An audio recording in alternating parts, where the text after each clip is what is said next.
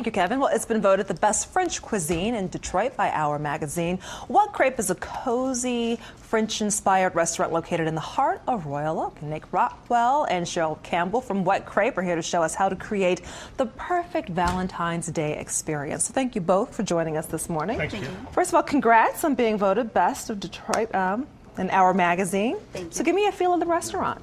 It's such a, a great place. I mean, we're really unique. Uh, it's a great place to bring a date. We now have our bistro license, so we're able to serve um, a great variety of beers, wines. Um, Thursdays is our martini night. All right. We do a French kiss martini. It's absolutely delicious.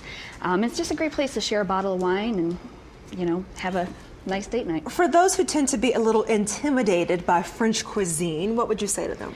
Actually, we have such a variety. We have over 50 types of crepes, from sweet to savory.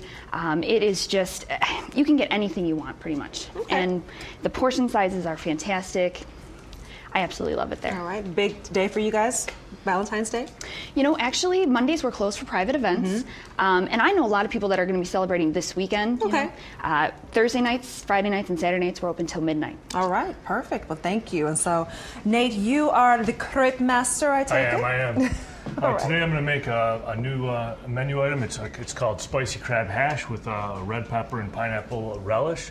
So I'm just it's real easy uh, dish you can make at home. So uh, we'll just start that off. Um, I'm going to start off with the relish. Take some onions, sweat the onions out, a little garlic, some red peppers, some pineapples. I could pass you some things if you like. I can- that's what- you can put me to work, Nate. That's good. That's good. Okay. Uh, let's see. We're gonna take uh, these potatoes right here.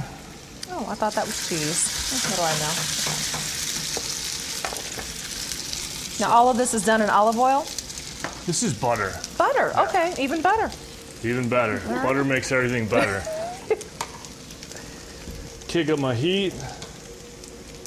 Now, what is this contraption This is my called? crepe, my crepe griddle, All right. where all the magic's done. For people who don't have a crepe griddle, a, skillet will do. This is uh, skill will do. Yes. This is about 600 degrees though. Now, what's in your hot. crepe batter? Is it like pancake batter? It is, it is like pancake batter, only there's no baking soda in it. Well, that is quite cool. So What's the hardest thing about making crepes? Do they burn easily? They, they do burn easy.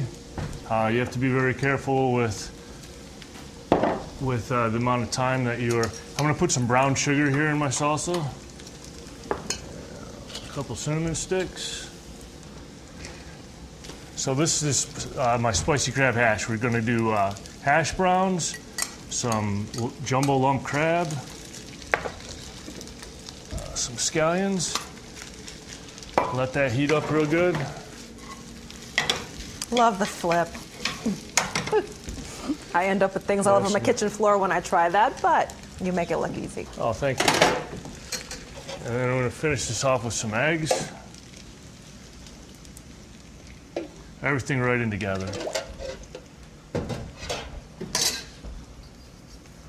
This is the important part. Mm, beautiful brown. Okay, and of course we have this this recipe on our website at myfoxdetroit.com as he finishes that up. This is the finished product, so this is what it looks like when it's all done and beautiful. of course, if you don't want to do all this, you can just check out the restaurant.